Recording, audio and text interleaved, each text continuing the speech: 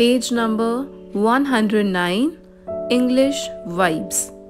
Topic name is Words that go together. Let's read these sentences.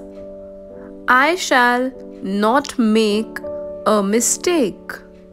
I shall not make a mistake. Here we use verb make with the noun mistake. So make and mistake go together. I shall not make a mistake. Second sentence It was a day to enjoy and have fun. Have fun. Have verb, fun, noun. We use have with fun. So have and fun go together. Have fun, have lunch, have dinner, have a problem. All these nouns go with have. Let's see which nouns go with the verb make. Make a difference means to cause a change, make money, earn money, make a noise, and make room that is to create space for someone. So all these nouns go with the verb make. Now repeat after me. Make a difference, make money, make a noise and make room. Very good. Now let's see the nouns that go with the verb have. Have lunch or dinner or breakfast. Have a problem have a haircut and have a holiday. Pretty simple.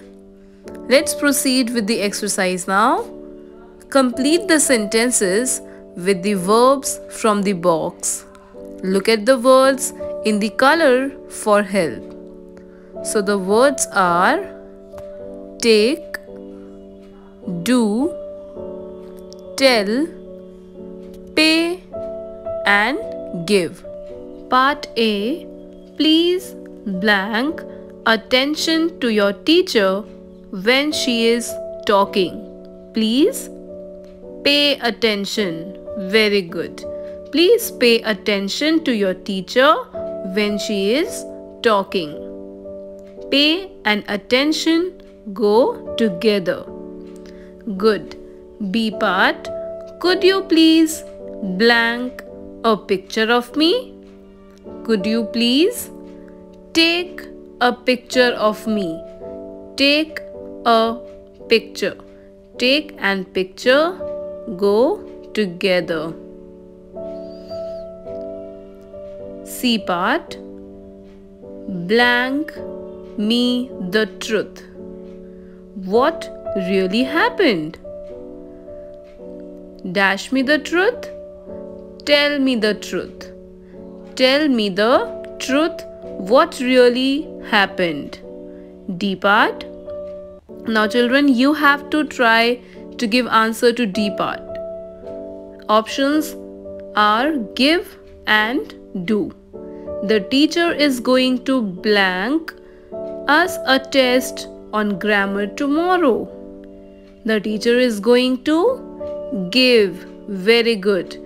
The teacher is going to give us a test on grammar tomorrow. Part E Could you dash me a favor and switch off the fan? Could you do me a favor and switch off the fan? Question mark. Do me a favor. Do and favor go together. I hope this exercise is clear to you now. Use the words wisely and carefully. Thank you for watching.